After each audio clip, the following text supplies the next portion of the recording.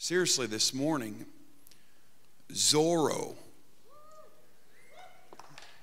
How many of you have got, bought his book so far, Soar? Yeah, there's we have these resources out here. These are important. He's a world-renowned drummer. Uh, he has recorded with music legends such as Lenny Kravitz, Bobby Brown, New Edition, Frankie Valli, and the Four Seasons. He's a author, life coach, ordained minister. I even found out he recorded with Michael Jackson back in the day. And um, so, I mean, this is no small beans. We are blessed to have Zoro here, and he's going. I'm going to introduce him. He's going to do, I believe, a drum solo, and then he's going to speak for us this morning. But listen, I think we need training and equipping in worship.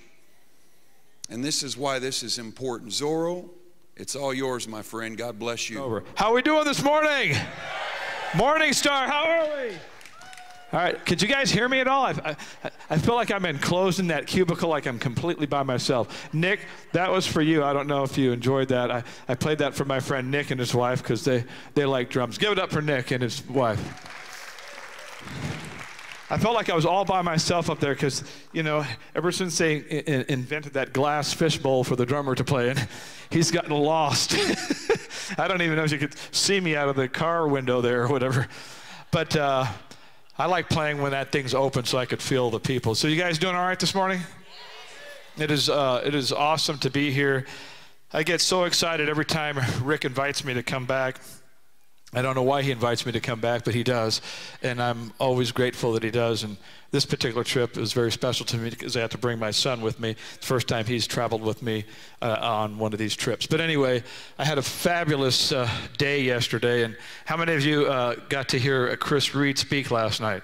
Wow, that was amazing, Chris. That was awesome, super uh, revelatory, and super inspiring. I, I, I just I think what I enjoy most about coming here is just getting a chance to hear all these other great speakers and just hang and be around these generals of God's army because there's an anointing. There's an anointing in this room, in this church, in this area, in this city. Then I just like being around it. And every time I come and leave, I feel like I'm different and I change. And so it inspires me.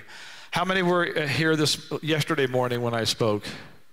Okay, awesome. Well, I'm glad for, for some reason they asked me back, so I've got more, more to share with you today. So, today I want to talk to you a little bit about uh, everything that sort of burns in my heart as far as an anointing and a ministry is always to encourage and inspire people to live out God's call on their life. I agree with everything that Chris spoke yesterday gosh, if we just, if each one of us just led another person to the Lord and discipled them. But so many Christians don't realize that the visions and dreams that God gives us, He wants us to carry out because they're going to have a great impact on His kingdom. They're going to have a great impact on His people. And so we talk a lot about dreams in this world and in this country. We're big on visions and dreams, but there's a real purpose behind them. And it's not just, God gave me many different visions and dreams as a kid, uh, all of which I've followed through to the very end, and I'm still following other visions and dreams through. But they're not so much for me. They're, the dreams and visions that He gives us are for how we're going to impact the people that are around us and how we're going to bless the community that's around us. So they're really about other people and other outcomes than just our own personal benefit and joy. But I don't know about you, but every dream that God has given me, there's a price you pay uh, to fulfill that dream. And I can think of nobody uh, more important than uh, the dreams that Joseph had and how much uh, it ended up costing him to fulfill those dreams. So, um, the future, we're here, this conference is about the vision and about vision for the future. And, uh, Victor Hugo put it this way He said, The future has many names. For the weak, it is unattainable. For the fearful, it is the unknown. For the bold, it is opportunity.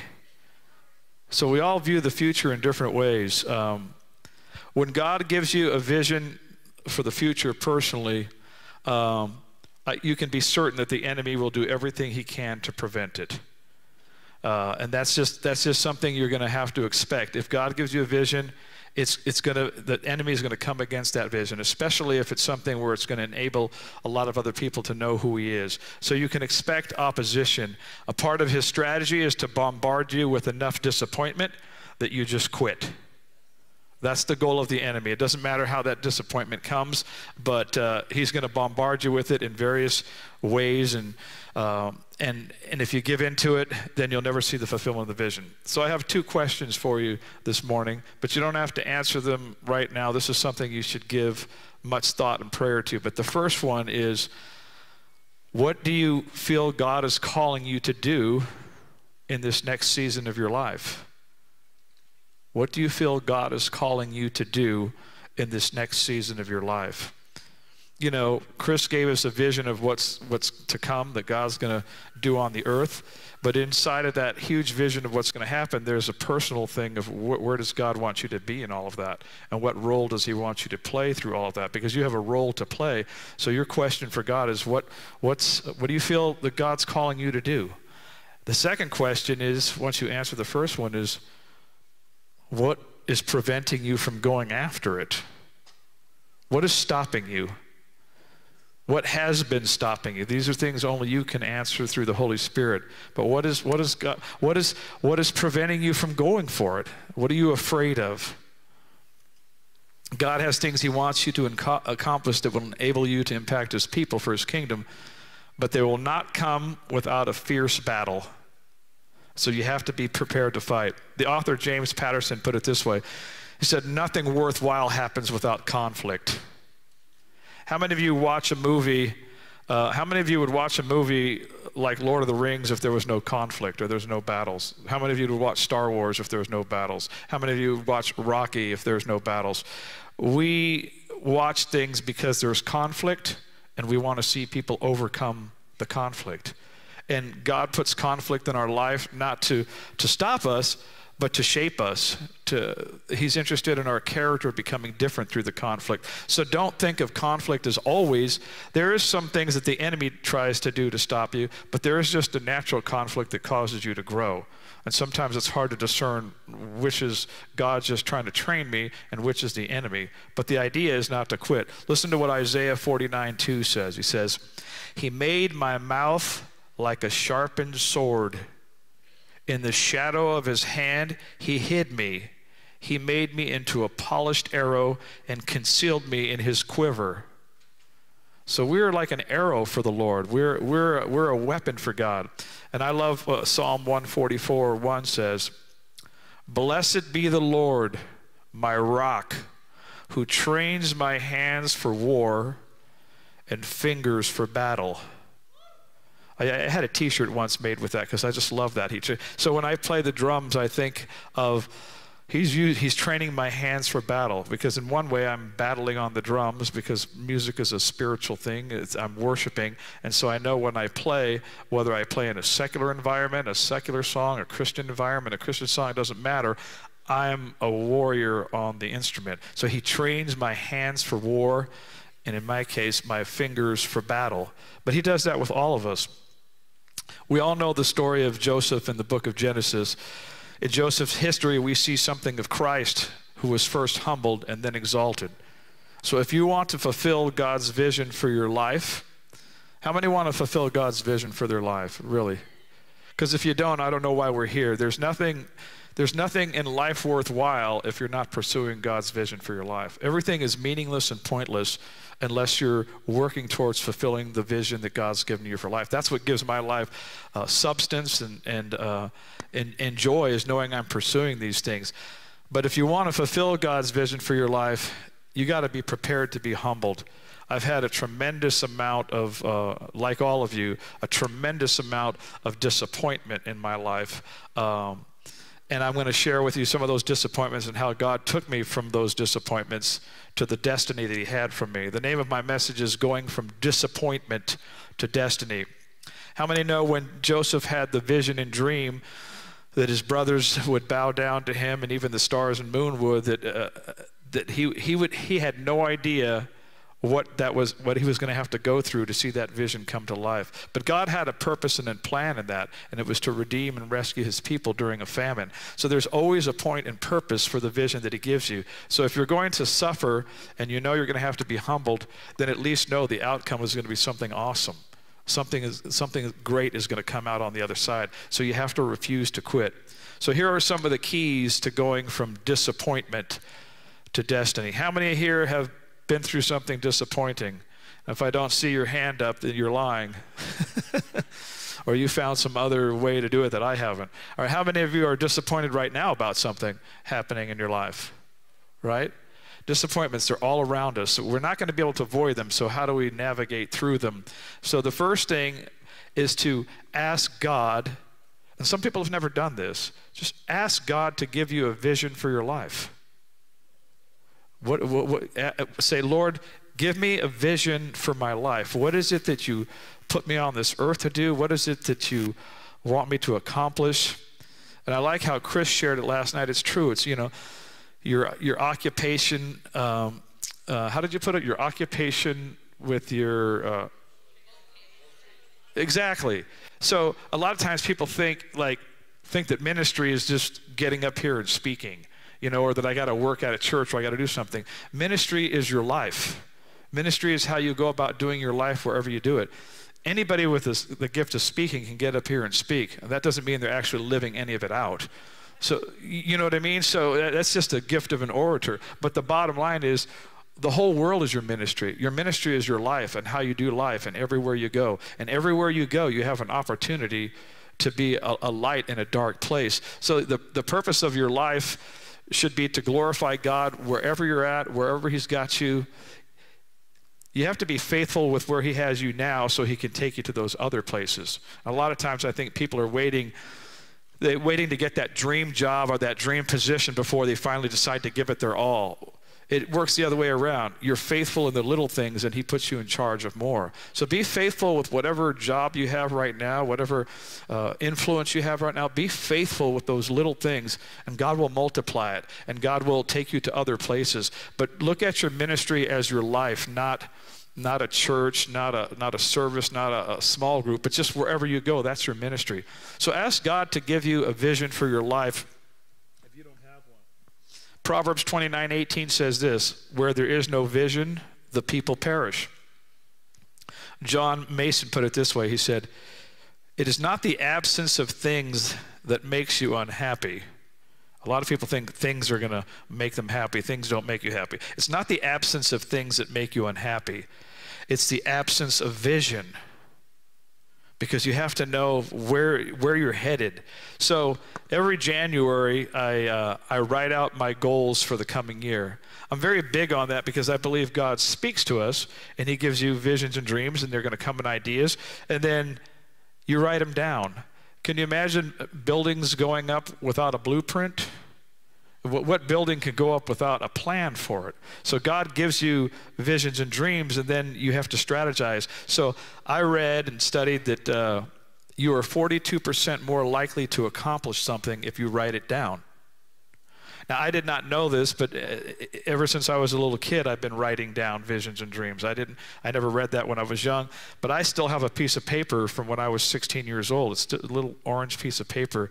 I was working at the county fair, and I wrote down at the time I just started playing the drums, but I wrote down the vision. I said, I want to become a world renowned drummer. I still have the piece of paper. I said, I want to be married to the love of my life. I, there were five things I wrote down on that piece of paper. I kept a diary from when I was 10 years old. I was always writing out visions and dreams. And then later, when I read that you're 42% more likely to achieve them, um, do the work. I've always taught all my students, I said, write down a vision and dream for your life. Ask God to show you in three way in three areas. We have a personal life, which is how we thrive in relationships with people. And we have a spiritual life, which is our relationship with God and how we thrive and connect with God. And then we have our vocational life, which is some skill or gifting that He gave us that we're able to make a difference in the world. And we're never going to be fulfilled unless we're flowing in all three of those areas because He didn't make you to just flow in your vocation. He didn't make. Some people are uh, excel in their vocation, but at, but they suffer in their personal life. They have no personal. They're not thriving in relationships. Some people are thriving in their relationships, but they're not making a difference in the kingdom because they're not using the gifts that God gave them in a vocation. So we're we're all three of those things: personal, spiritual, and vocational. And so ask God to show you what each one of those looks like, and so that you can thrive in all of them. So write out your goals. Every year I write out my goals, and maybe there's 50 things I write out. And at the end of the year, I look at what did I accomplish for God of those 50 things. And sometimes it's only 10 things, but I guarantee you there wouldn't be 10 if I didn't write the 50. Some things move back from year to year. You write them down, and life gets in the way, and that's not the season God has for that. I've had things that were written down for 10 years, 15 years, 20 years, and eventually came to pass. I've had things that came to pass in that very year. So some you do all this by faith because you don't know exactly, you know, you, you sense it in the spirit. I, I think God wants me to do this. And then you just wait it out and see what God has, what, what things move to the top of the plate, right? Here's what Benjamin Mays said. He said, The tragedy in life doesn't lie in not reaching your goals the tragedy lies in having no goal to reach. Having no goal to reach. Andrew Carnegie said, if you want to be happy, set a goal that commands your thoughts, liberates your energy, and inspires your hopes. Lou Holtz said, if you're bored with life, you don't get up every morning with a burning desire to do things, you don't have enough goals. So some of your goals should be like what Chris said, it seems so simple, but so few people do it. Why don't we lead anybody to the Lord?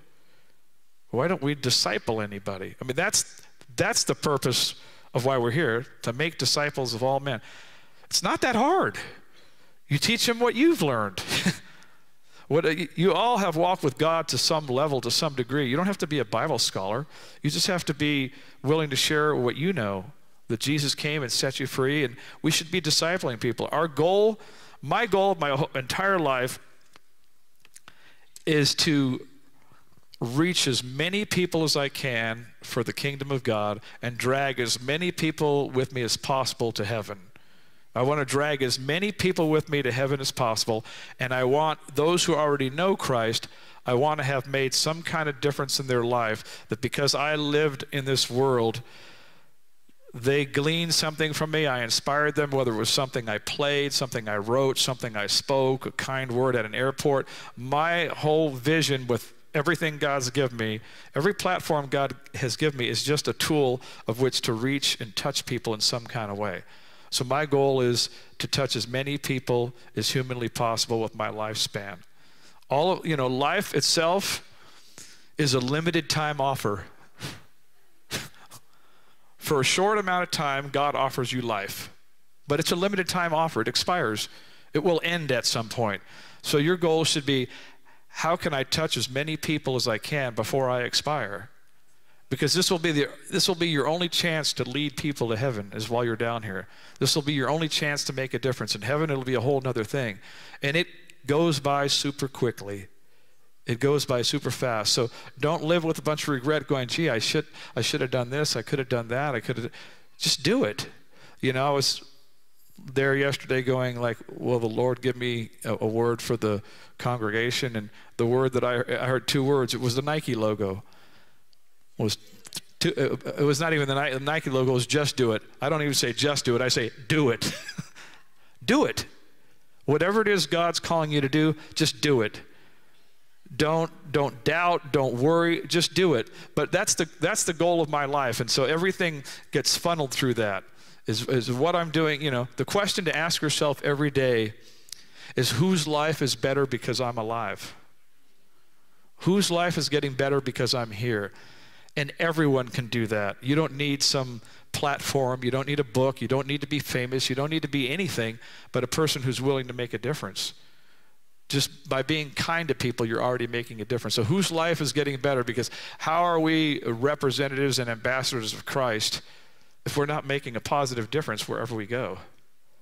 So, that's the question I ask myself. That's my, that's my real goal, and everything else is just means of which to accomplish that. Um, all right, so to co- commit to the vision that God gives you, when you feel God's giving you the vision, and again, it's by faith because sometimes you, it's hard to discern is, is this me or is this the flesh? Is this God? But whatever you feel that God's showing you, commit to doing it, whatever it takes. And that takes conviction of the heart. Uh, Oliver Wendell Holmes said, To reach a port, we must sail, sometimes with the wind and sometimes against it. But we must not drift or lie at anchor. So just decide to go for it. Uh, a lot of us choose uh, our path out of fear disguised as practicality. So we, we avoid the real dreams that God gave us because we're afraid. So then we choose a different path because we go, well, this, this is more practical. That, that would be too lofty or too whatever because we, we have a shallow perspective of, of ourselves and we realize this might require a lot of work. Don't pursue things just out of practicality. Pursue the things that God has shown you. God is a God of supernatural ability and powers. He causes things to happen that we can't make happen. So, this is where you get a chance to build your faith up. If God is showing you something and it looks impossible, go for it. Because He'll do the impossible part. You just have to be, do the faithful part and work. Here's the part that nobody likes when fulfilling a vision it's a nasty word, it's called work. It's called work.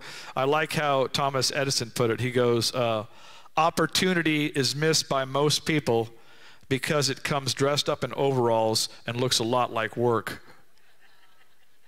Here's a guy who would know it took him 10,000 experiments for the light bulb to finally stay lit for any length of time, right?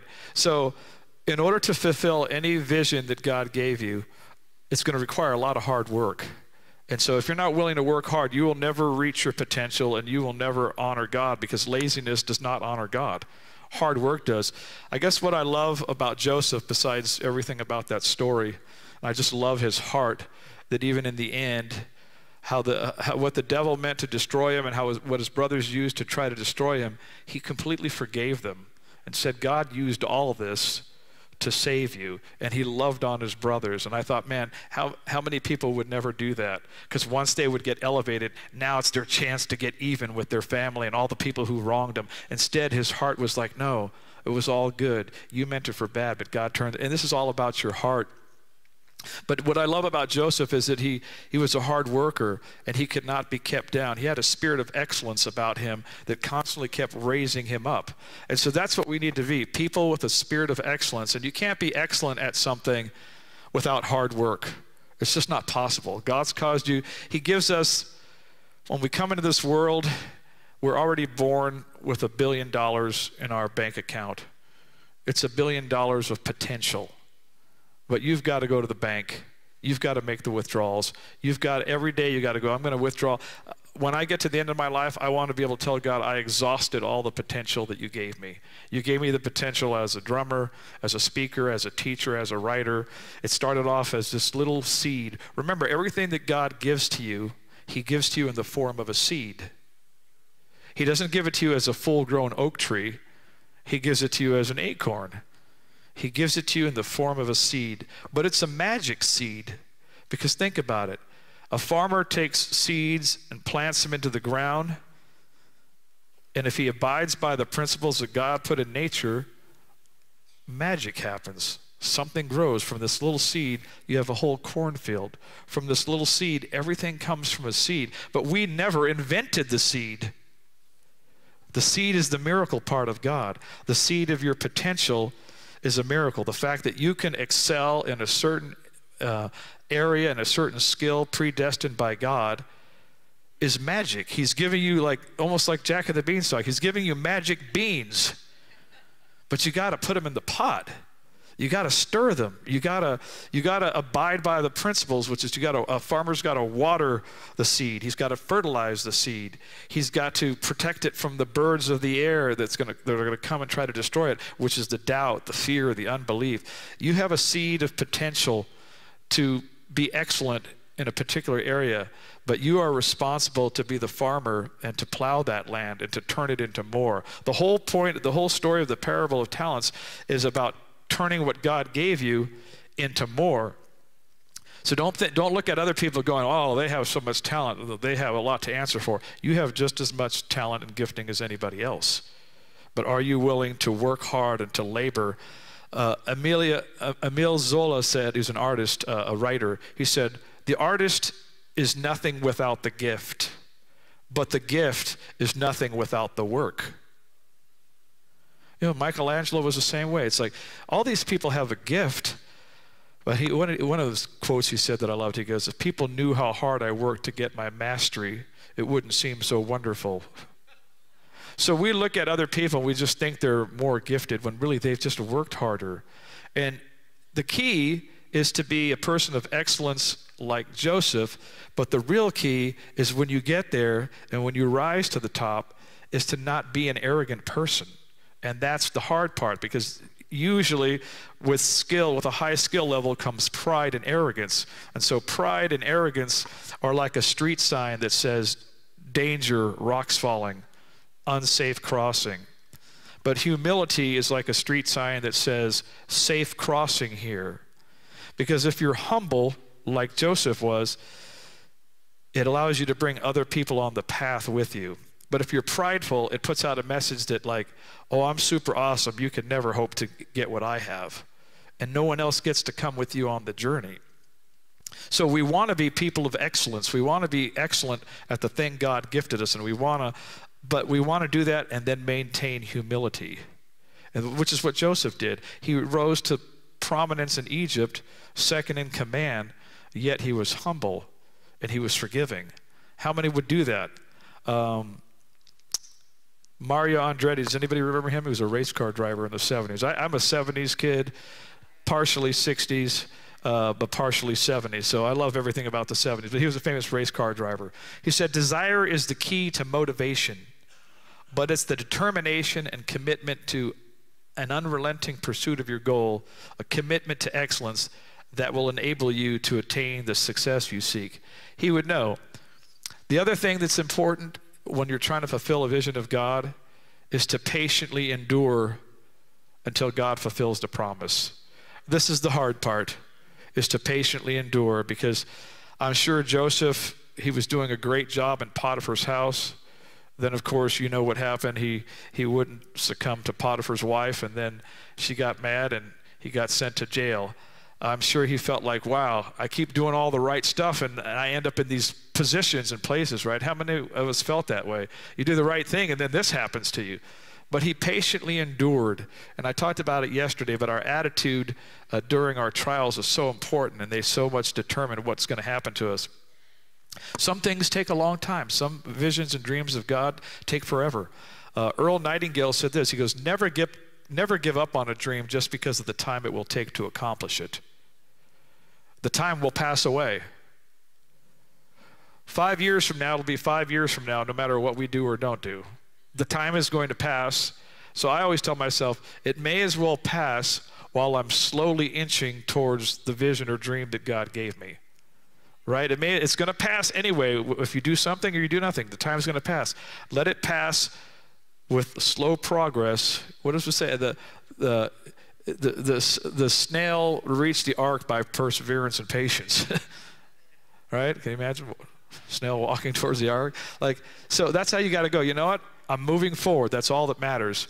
Ralph Waldo Emerson said this. He said, Adopt the pace of nature. Her secret is patience. Adopt the pace of nature. Her secret is patience. Hey, I would rather die with 10 dreams that I wasn't able to fulfill, but I may have fulfilled 80 other dreams. In other words, I'd rather Walt Disney died and he had the dream of Disneyland that had not yet, a Disney World that had not yet been fully realized.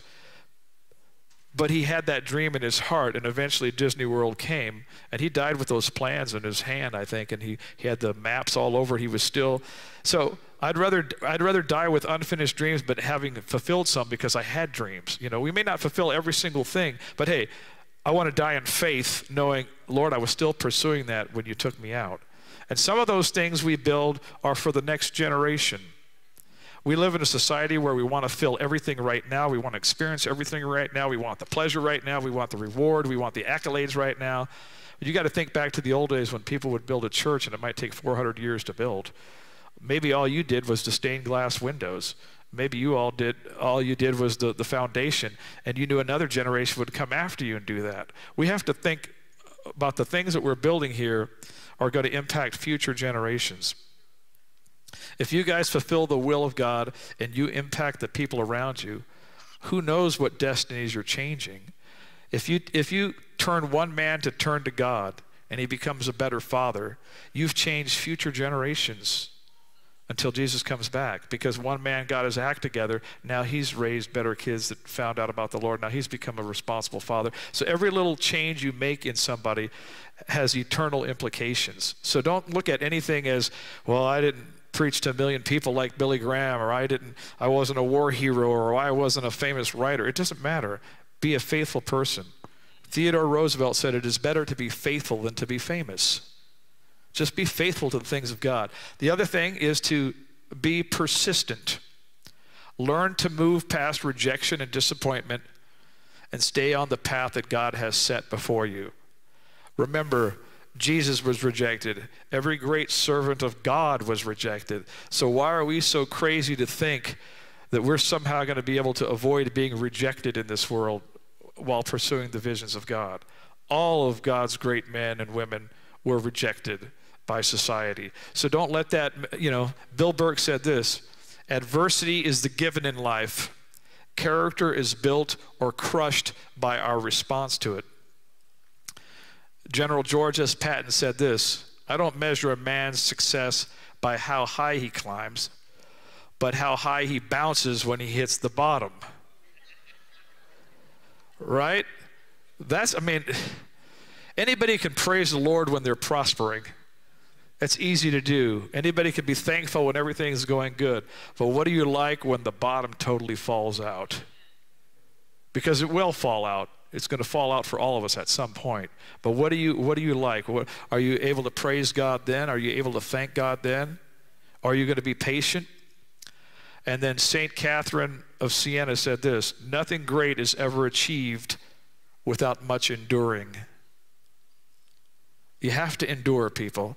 So, whatever God's vision is for you, endure. The next thing is to reassess, recalibrate, and retool. So, there's many times God will give you a vision for something, and you'll you'll attempt it. It could be a business. It could be, in my case, I'll share a story. I wrote a book. It's not out there today. My, my book Soar is out there, but I wrote a book before Soar called The Big Gig. It's a 440 page book, a vision that God gave me. Uh, it's called The Big Gig Big Picture Thinking for Success. And it was a book that I wrote. It was actually the book I was looking for when I was 18. It was uh, when I was 18 trying to become a musician. I didn't know how it all worked. And I, and I wanted to read a book from a musician who had made it. Like, and when I say a musician, we're, I'm, I'm called a side man. So a side man or a side woman are the players that can play with any band. Any group will hire a musician. So the Beatles is a band, right? It's four guys in the band. But if the Beatles had an additional player, they would hire a side man. They hired once a guy named Billy Preston to play, play keyboards. So a side man is an independent musician. So I couldn't find any books on that when I was growing up and I was in LA trying to figure out how, how does this industry work? And I was so frustrated because there was nothing about the, the business of being a musician and how one goes about uh, getting gigs and how you develop your skills. And so I was so frustrated that I said, one day, you know, when I make it, because I was always a dreamer, said, one day when I make it, I'm going to write a book for other people so they can not be as frustrated as I was to show them. Well, I, I had to live it out for 40 years or 30 some years, but I eventually wrote that book. God gave me the vision. It actually, so some of these visions God gives us start, start off really small, and that's what you have to remember. It actually started in 1985. I wrote a little article in a fan magazine. I used to play with a group called the New Edition back in the 80s, and they were a very famous R&B group in the style of the Jackson 5. And so I was a bit of a teen star. I was in the teen magazines every week. I had my posters in there, and, and so they asked me, hey, could you write an article for the magazine about show business because I was getting all this fan mail. Hey, how did you make it and all this? And so I said, okay, I'll do that. So I wrote an article. It was called Zoro's Show Business Tips. It was like three pages. I was only like 21 or whatever. It's like three pages long. But when I look back on my life, I go, that was the blueprint for what became a 440 page book. That was the structure of the whole thing and how it all started. And I go, it started with just being faithful to writing a little article. I never had any writing training, I never went to school for writing. I had the desire to write. And I guess you could say God gave me the gift of writing. Again, it came in a small seed. I had to develop it. So over those 30 some years, I wrote the book, and then I remember uh, trying to get it published around 2007, and I was rejected by every publisher out there. And I'm going, Well, Lord, you gave me this vision, you gave me this dream. I know this is from you. How, how is this ever going to happen? You know, you get frustrated, you get disappointed. So I never quit. I put it on the shelf. I said, Lord, I know in your timing this will happen, even though I'm being rejected by everybody in your timing. So I, I, put it on the shelf and I worked on other goals and other visions. And then I came back and revisited it a couple years later. And when I read it, I was like, I'm so much of a better writer now. And I, I rewrote the entire thing, and it became like a 440 page book. Then I found a publisher who absolutely loved it. The book went around the world, it exploded, it became the industry standard for all musicians. And the, the great thing is, all the publishers that turned me down, uh, God was preventing, and this is uh, for you. So sometimes God blocks things from you because he actually does have something better. And I know it can sound like a cliche, but so in God's case, a lot of times it's true. He'll block something that you see as a blessing that you want, but it's because you don't see that that's not the thing. So if I would have got published by any of those publishers, the book would have changed a lot. The publisher that ended up publishing it they were not a Christian publisher. They were a secular publisher that did a lot of music instructional books. But one of the things the, the main editor said, he goes, I like all your spiritual stuff. He goes, I want you to keep all your stuff about God and all your stuff because people need that. And he wasn't even a believer, but he was drawn to the light of those things that I wrote in the book. So that publisher allowed me to write everything that I wanted to write without holding anything back. So I wouldn't say that it was a Christian book, but it was clear that my Christian principles were in that book, and anybody with a brain would go, This guy's a believer. But uh, any other publisher would have cut all that out. So God knows what He's doing. So I waited and I persevered. And the whole point was what? so I could have a book out to see how wonderful I am? No, because the book impacted tons of people around the world. And tons of people would come up to me and say, I read your book, The Big Gig, and they said, Now I really see the whole big picture. Because the whole big picture was everything, not just becoming a successful musician, but be- becoming a good father, becoming a good person, and seeing your life itself is the big gig. Not the gig itself, but your life, the sum parts of your life is the big gig. It's your life. So, anyway, I want to encourage you with that because I was rejected by so many uh, publishers and so many times. But I, this is the part about retooling, reassessing, recalibrating. So sometimes we'll get a vision and we'll get we'll get disappointed because people didn't buy the first version of it, and then we'll just quit. Instead of going, well, God, what do I need to do to retool this thing? Most of the successful people in business will tell you they started many other businesses that failed first. Many businesses that failed, and then the sixth business finally took off, right? So you have to be willing to go back to the drawing board with God and go, how do I make this better? How do I retool? How do I reassess what I've originally started so that I so that I can make it what it is? This is the work part. This is the part where you've got to humble yourself, and this is the part when I when I looked at my manuscript, I'm like, I'm better now. This would be a lot of work, but I'm willing to do it. Is that helping anybody besides me? it's helping me. um, C.S. Lewis put it this way He said, Hardship often prepares an ordinary person for an extraordinary destiny. And uh, Thomas Edison said, Good fortune is what happens when opportunity meets planning. And Martin Luther King put it this way The ultimate measure of a man is not where he stands in moments of comfort and convenience, but where he stands at times of challenge and controversy. The key to all this is a little bit of what I talked about yesterday, which is to stay encouraged. Do whatever you have to do to stay optimistic and speak a positive confession. Whatever you got to do, find a way to stay positive and encouraged. For me, again, like I said yesterday, I, I do it a lot in reading. I think stories are one of the most important things on this earth. Um, there's a there's a saying here. It's from an author. It says, "After nourishment, shelter, and companionship, stories are the thing we need most in this world." So we've always heard we've always heard that term. You know, mankind lives off food, clothing, and shelter, right? That's not true. The three of those things we do live off of. Mankind lives off of story. That is the fourth thing. What do you think the Bible is except a book of stories that helps us to make sense of why we're here, who made us, where we're going, what this is all about. From the beginning of man's creation, we have been storytellers, sharing stories to the next generation. You see them writings on the wall and, and, and, and, and the Egypt times. We are storytellers. Why do we need those stories? Why am I telling you my stories? I don't know anybody else's story, so I can only tell you my story. But we, we and, and the stories that I've read of other people, what do they do? They inspire me they encourage me not to give up because I go, this is what happened to Joseph all these years ago. And look, he kept his heart right. And look what happened. So, yes, we need food, clothing, and shelter, but we cannot survive without story. Story is how we make sense of humanity. That's why we buy books. That's why we watch movies. That's why we listen to podcasts.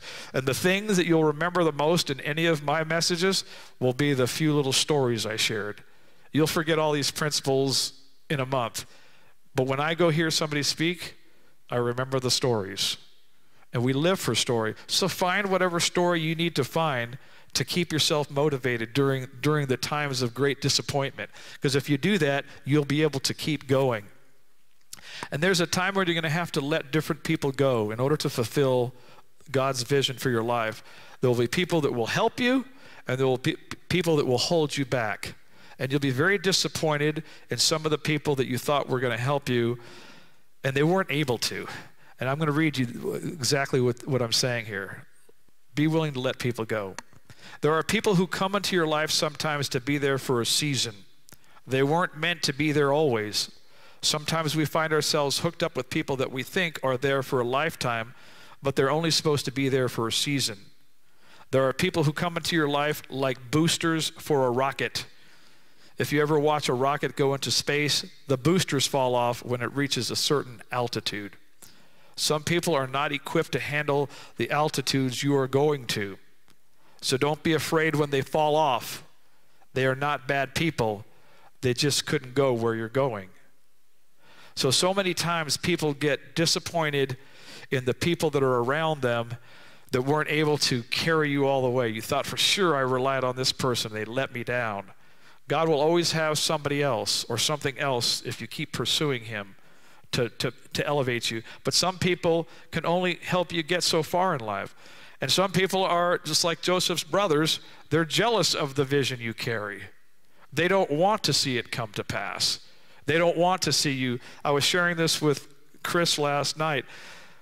Sadly, in the church, I've met so many people in, in being in ministry for about 30 years. I've met so many people that they don't really have great hearts. They don't want to see you prosper if somehow you pass them in some way. And you go, wow, but you're, it's, it's, it's all comes down to insecurity, right? And, and, and a self centered heart. And when I meet somebody who, uh, with a pure heart that wants to wants to see you reach your potential and be everything. You know who your friends are when they celebrate your victories. But there are people, it's like that old song from the 70s, smiling faces. Sometimes they lie, they don't tell the truth. They pretend to be your friend and, and, and they're patting you on the back, but they're trying to just hold you back. You know? So you have to be prepared. There are people who don't want to see you become everything that God wants you to be. And some of those people you have to let go.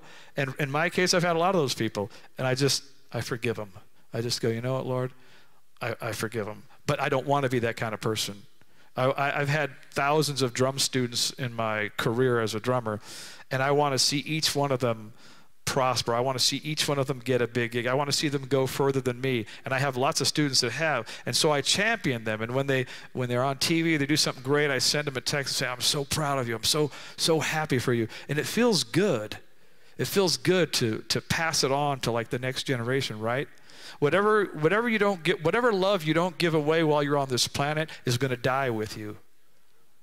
And whatever knowledge you don't give away, whatever encouragement you don't give away, will die with you. So give it all away. Give it all away. All right, I'm getting closer to wrapping it up. I prayed God would give me the words this morning. Uh, many disappointments in my life, okay? Um, but every disappointment in my life, God has turned into a victory in time. The first disappointment started at six months of age when my father deserted me. And so uh, my father left me for dead, actually said I was dead. Uh, it was a lie. But at any rate, so that causes a lot of uh, hurt in a child. Uh, many of you experience that, uh, either a mother or a father or whatever. But so what the enemy meant to destroy me only made only made me into a better father. Because what the rejection I felt through my childhood of sending my father letters after letters I never met him but I kept sending him letters and he never responded. It sent a deep spear of rejection in me.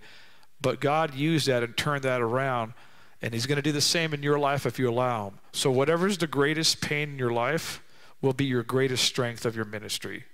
Whatever you have endured whatever you have overcome becomes the tool of which God uses to, to place empathy and compassion in you. Because of, of growing up fatherless, my desire was one day I want to become a great father. I want, I want my kids to feel the love that I never felt. And that father's heart transcended into all of my ministry. So everywhere I've traveled in the world, I have the father's heart, which is to help people, to encourage people, to inspire. And I've done it with thousands of students in teaching and doing drum clinics and drum camps around the world and Christian conferences. But that came from that disappointment. So the very thing that the enemy is trying to use to crush you if you allow God, that becomes your that becomes your point of strength. And I was I've been uh, I was married when I was younger, and that marriage ended in divorce. I never wanted to divorce, but my wife at the time, we were both very young, so there's that part. But she had an affair and. Um, and then announced that she didn't want to be married to me anymore. And it was a heartbreaking, crushing blow because I, I, I, wanted to be married forever because I grew up in a broken home and I was like, I, I never want to be one of those guys who's divorced. I want to marry somebody and then be with them forever. But that wasn't what happened. But now I've been married for 27 years. I made a mistake the first time. Yeah, I've been married for 27 years. And uh, so God is the God of second chances, third chances, fourth chances ad infinitum, right? So everything that the devil meant to destroy, destroy me with, God turned into something that was more powerful and more useful. And I say that because everybody in this room has disappointment. Everybody in this room has heartbreak. Everybody in this room has had unrighteous things happen to them. Things that were unfair, things you didn't deserve, things that just, you know. And this is why I, I, when I'm ministering to people that don't know the Lord, you know, I, I, I always tell them, you know, God doesn't make any make people do bad things to you. I never blamed I never blamed God for my father abandoning me because I realized he did that all on his own. That's what sin is. When your life is not surrendered to God, you're only capable of bad, evil, and selfishness. So I never blamed God for uh, any of the disappointments in my life. I never raised my fist at him. I, I realized it's just a world. It's a fallen place. It's filled with sin. It's filled with broken people, and they do that all on their own. So let let all of that hurt of your past go. I don't know how many people in here are blaming God for things that happened to them at certain points, but it's never Him. He doesn't cause those things to happen, but He will use them for His good, even though He didn't cause them to happen, if you allow Him in the soil of your heart. If you allow Him in there, even the worst thing that's happened to you will, will, be, will make you strong and will make you relatable to other people. And more than anything, it will give you empathy for other people. Because honestly, we don't care about people until we've gone through something. We're all very self centered creatures as human beings. And it's only when you suffer and you struggle and you go, go, through something do you then begin to have compassion and empathy for other people because you know what it feels like. I remember when people would say, Oh, I lost my dad or my mom or my grandmother and all that. And I would go, Oh, I'm so sorry. But I really wasn't that sorry because nothing like that had ever happened to me. I was sorry as I could be without that understanding. But it wasn't until I lost my own mother that I knew the severe pain of, of losing the one you love most. After that, when somebody said I lost my father and mother, I was like, come here. I give a hug. I understand. But I promise you it will get better. Now I had empathy. But before that, it, it was just courteous words we all say. Oh, I'm sorry, so sorry to hear that. So just remember that God is a God who will use everything in your life that, that the enemy has tried to destroy you with, like he did with Joseph. He used all of that to rise Joseph to prominence to save the children of Israel, which eventually that lineage from Joseph led to Jesus. So that's why he's one of my favorite heroes because he endured. He had a vision. The vision made his brothers mad. I've shared things with my own family, and sometimes, you know, the people that you love most are the ones that try to keep you down. You know, and you go, man, I want you to be proud of me. I want you to be happy that I did. And a lot of times they're not. And that's not, you know, that's not just my family, that's just all family, right? Don't let that hang you up. There'll be a few people cheering you on along the, the road to life. The main thing is you got to learn to cheer for yourself. Not in a selfish, arrogant way, but in the way that Joseph must have had to encourage himself and how David had to encourage himself when he was in the cave when Saul was after him. The Bible says David learned to encourage himself in the Lord. Sometimes no one is cheering you on towards this vision. And you got to learn to cheer yourself on because you got to learn that God's cheering you on. And if God's cheering you on, then it's okay to cheer yourself on. It's not like arrogant self-love, but like, hey, my son is here. He knows he knows that I love him. I love him when he's being good, and I love him if he's being not so good. I enjoy him more if he's being good, but I don't stop loving him. So, you know, so the bottom line is the Lord loves us through all of it. All right, I'm going to wind it up. I love how when I bring the plane in on time for a landing, uh, because again, I tell you, I was a drummer. I got to do things on time. I got to, I got to abide by the time I'm given. Lastly, trust in God for His outcome and His timing. Trust in God for His outcome and His timing. Release what you have no control over to God. Joseph was in prison and he trusted God. Um, the last thing I'm going to share with you is, uh, and Rick knows, I'm going to share the story as quickly as I can. So, you guys know I wrote a book called Soar. I told you about the big gig, and Soar is a motivational book on how to live out God's dream for your life. But God gave me another vision many years ago, and the vision was to write a memoir of my life. So Soar has some of my personal stories in it, but a memoir is a much harder, complex type of book to write. So I didn't think I could do it, and I wasn't originally didn't intend to write it. But anyway, to make a long story short, God gave me this vision of writing uh, my story, and Rick knows my story very well. I shared it here a few years ago, uh, but I'm not going to share it now. But anyway, it's a pretty riveting story. It's it's a it's a story kind of in the in the in the mold of a Rudy, Rocky, Blindside meets Forrest Gump.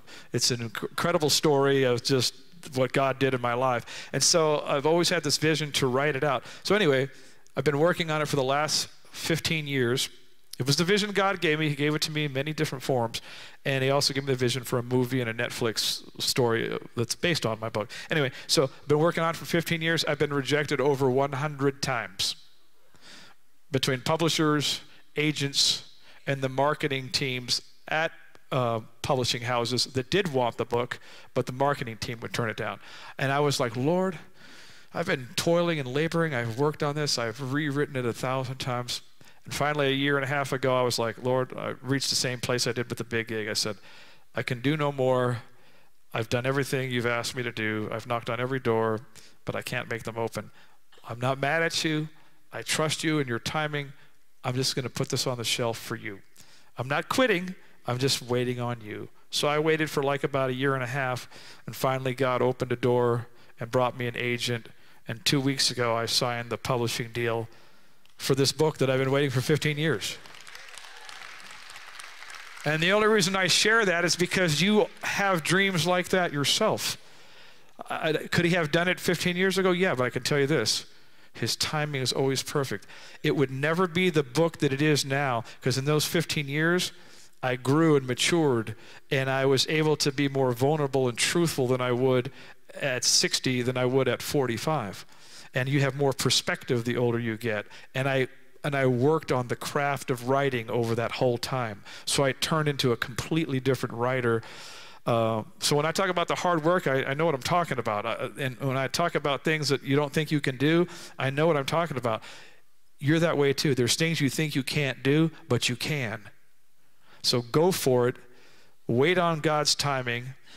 And what's the whole point of this? When this book comes out, it is a God story, but it's not written like a Christian book. It's just written like a book. So it's going to reach all people all around the world. But clearly, God is in the story, but it's not written with a bunch of Christianese. I'm not trying to convert people. The story will do that. The story, your life story will be what converts people. You don't have to keep preaching to them. It's like St. Francis of Assisi said by all means, preach the gospel at all times, and if necessary, use words. Live it, and people will see it. So that's my story. I'm sticking to it, and I thank you guys for allowing me to share this uh, message with you this morning.